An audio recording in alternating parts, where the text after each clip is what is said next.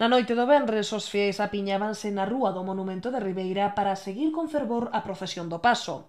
A máis esperada da Semana Santa na capital barbancesa é unha das máis concorridas. Antes de que comezase o percorrido en primeira fila, os máis pequenos coñecían a tradición da Semana Santa da man dos seus maiores, e cos ollos como a pratos desde que se escoitaron as primeiras melodías da banda. Animados polo tempo, moitos foron os veciños que quixeron acompañar ao Cristo e ser testemunhas de todo o traballo que hai detrás desta procesión que organiza o colectivo Alfaia.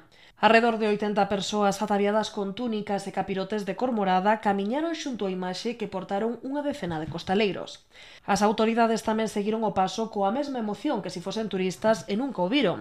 O alcalde Manuel Ruiz Rivas, a concelleira de Cultura Elvira Pisos ou o patrón maior da Ribeira José Pérez estaban entre os seis que non quixeron perder perderse unha das citas marcadas en vermello no calendario da Semana Santa. Na Pobra o encontro arrincou o Benres pola mañá, concretamente ás 11. Despois da presentación na Plaza García Martí houve un desfile por Gasset a Paz, Cardenal, Patiño e Rafael Calleja. O Xove Santo tamén chegou cargado de actos religiosos. O Eceome deu comezo en Boiro ás nove da noite. O desfile pasou polo Camiño Real Principal, Bao e Ferrería. A medianoite tamén tivo lugar a Hora Santa.